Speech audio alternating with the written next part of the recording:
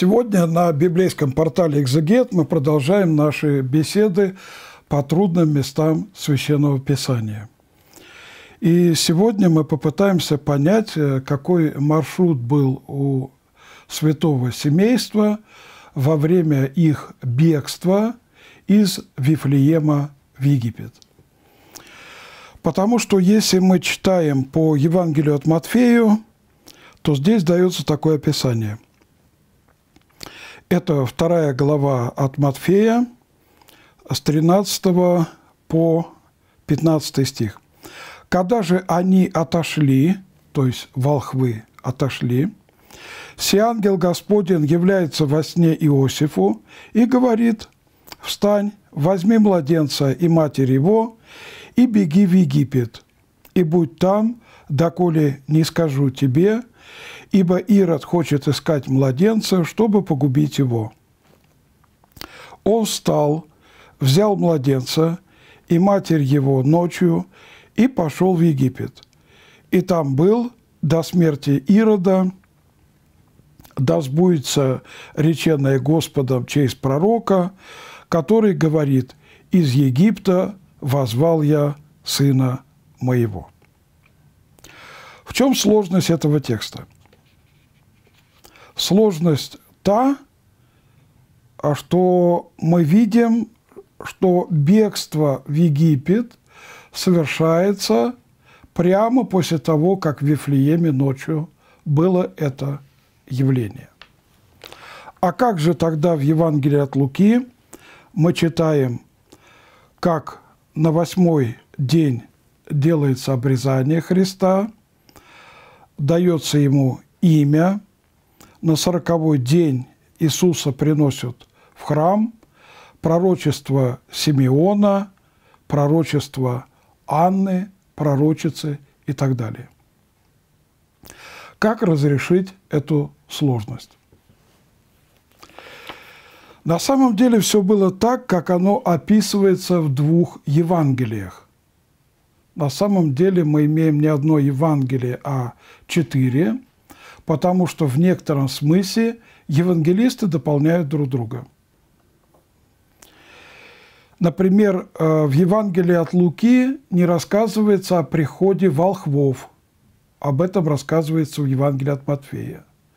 Но зато в Евангелии от Луки рассказывается о том, как ангелы явились пастухам и засвидетельствовали о рождении Сына Божия. Так и в этом случае – бегство в Египет начинается в Вифлееме, когда ночью является ангел, но оно осуществляется через Иерусалим. Почему через Иерусалим?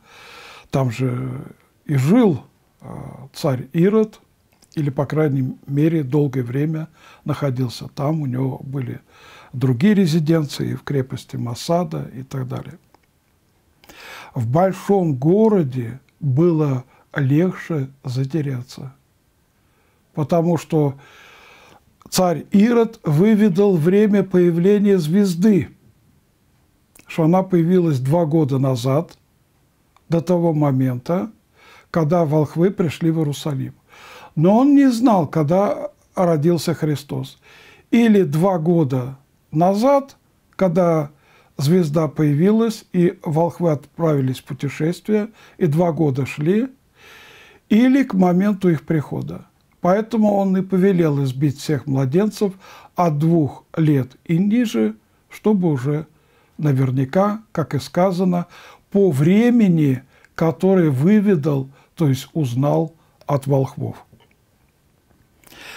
Таким образом, никакого противоречия нету.